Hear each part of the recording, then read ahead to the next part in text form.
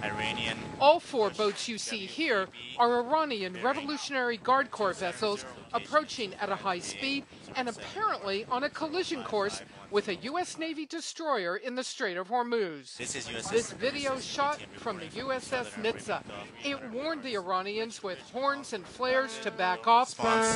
Weapons uncovered. But at least two of the Iranian boats kept approaching, coming within 300 yards. Forcing the Nitze to alter course Tuesday, the Iranian boats finally turning away. By Wednesday, a significant rise in tensions.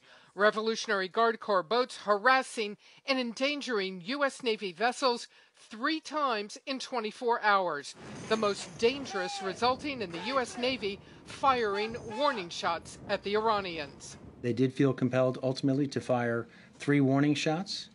And uh, the reason for that is they had used uh, steps, they had taken steps already to try and de escalate this situation. It happened at the northern end of the Persian Gulf. An Iranian fast boat like this approached two U.S. Navy patrol craft, the USS Tempest and USS Squall.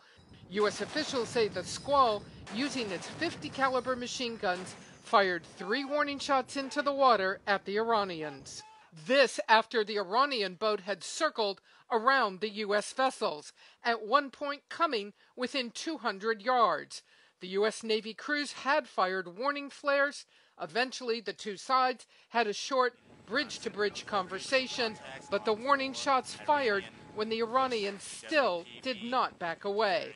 The two U.S. Navy boats had been harassed earlier.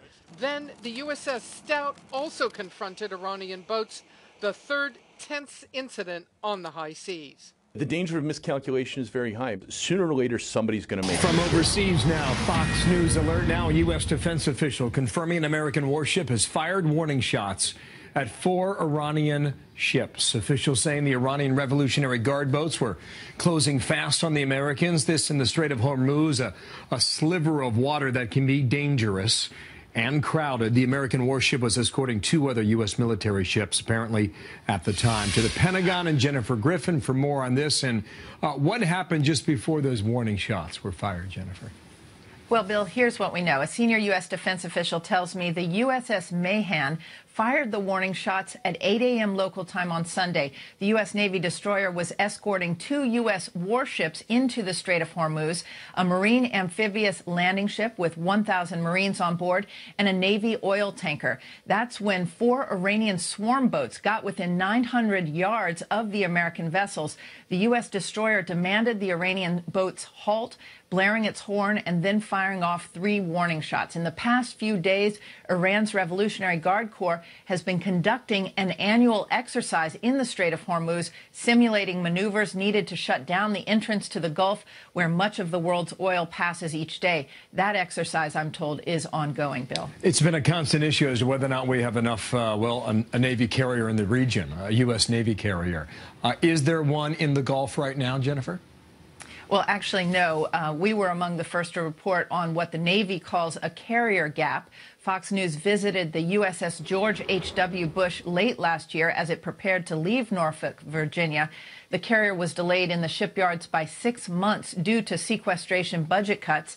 Senator Mark Warner, a Democrat from Virginia, wrote to the head of the Navy last week demanding answers. Quote, the absence of an aircraft carrier not only harms our force project projection capabilities and limits some of our military's flexibility to quickly respond to any number of unforeseen events that may arise. President elect Trump's nominee for Defense Secretary, a retired Marine General James Mattis, an Iran hawk, has his confirmation hearing on Thursday before the Senate Armed Services Committee. He is likely to be asked, Bill, what he will do about the carrier gap and recent Iranian provocations. The number of dangerous Iranian interactions with the U.S. Navy doubled in the first half of 2016 from the year before. Well, these hearings are going to be fascinating. Thank you, Jennifer Griffin from the Pentagon. Martha.